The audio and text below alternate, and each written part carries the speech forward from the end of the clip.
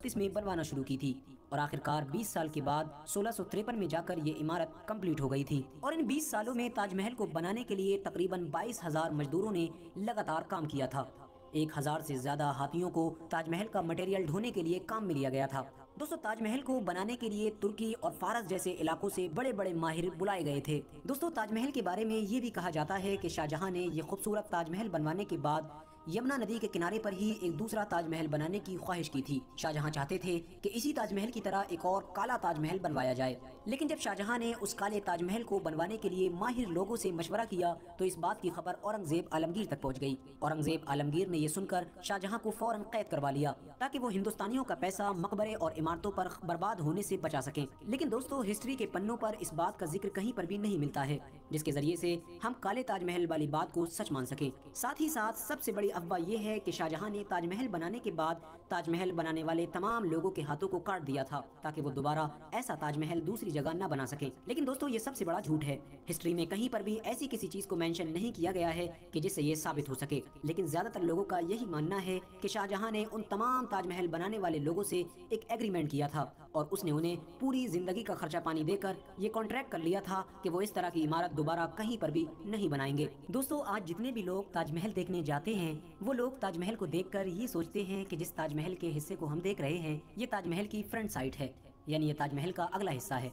लेकिन दोस्तों, आपको जानकर हैरानी होगी कि जिस हिस्से को हम ताजमहल का अगला हिस्सा समझते हैं, वो दरअसल ताजमहल का पिछला हिस्सा है। और ताजमहल का अगला हिस्सा यमुना नदी की तरफ़ है। और ज़ाहिर है कि ताजमहल के अगले हिस्से की तरफ़ से जाना आज के दौर में किसी के लिए भी मुमकिन नहीं है। दोस्तों, वजह यह है कि शाहजहां के दौर में जब ताजमहल बनाया गया था तो उसका फ्रंट यमुना नदी की तरफ़ ही बनाया गया था। और शाहजहां के दरबारी लोग भी कश्तियों पर सवार होकर यमुना नदी की तरफ़ से ही ताजमहल में दाखिल हुआ करते थे। लेकिन वक्त के साथ साथ वो रास्ता खत्म कर दिया गया। और आज ताजमहल का जो पिछला हिस्सा है, उसी की तरफ़ से तमाम लोगों के लिए ताजमहल का दरवाज़ा खोल दिया गया। और लोग उसी को अगला हिस्सा समझने लगे। दोस्तों, शायद आपको जानकर हैरानी हो कि ताजमहल के जो चार मीनार हैं, वो चारों के चारों मीनार एक बराबर उल्टी साइड में झुके हुए हैं।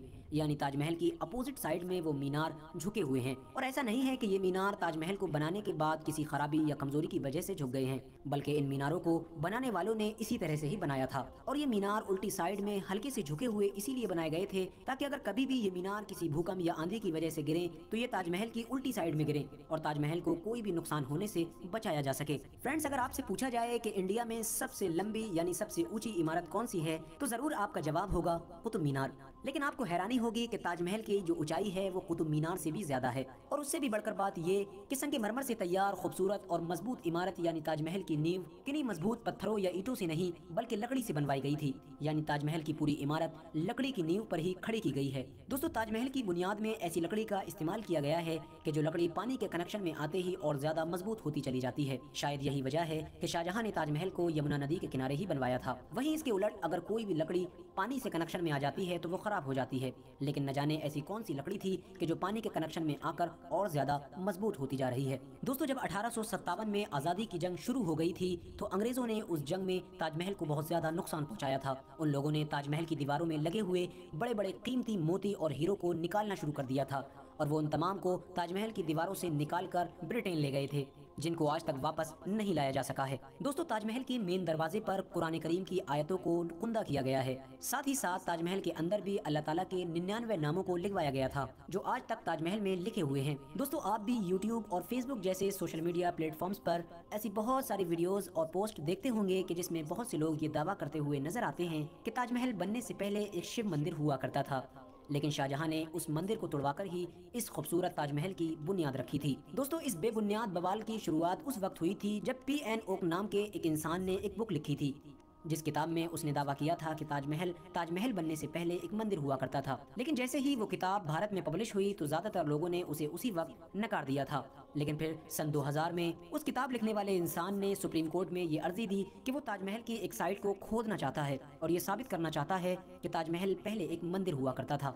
लेकिन सुप्रीम कोर्ट ने उसकी इस अर्जी को खारिज कर दिया। और बाद में एएसआई ने भी कड़ी छानबीन करने के बाद ये साबित किया कि ताजमहल हमेशा से ही एक मकबरा था जिसे शाहजहां ने बनवाया था। और इतिहास के पन्नों में कहीं पर भी पहले इसके मंदिर होने का सबूत नहीं मिलता है, बल्कि पूरी दुनिया की इतिहास की किताबें इस बात से भरी हुई हैं कि शाहजहां ने ही इस मकबरे को बनवाया था। दोस्तों, उम्मीद करते हैं कि आज की ये वीडियो आपके लिए बहुत यूजफुल साबित हुई होगी। आज की इस वीडियो में आपको जो चीज़ सबसे ज़्यादा पसंद आई हो, आप कमेंट्स में ज़रूर बताएँ। अपनी प्यारी बीबी मुमताज़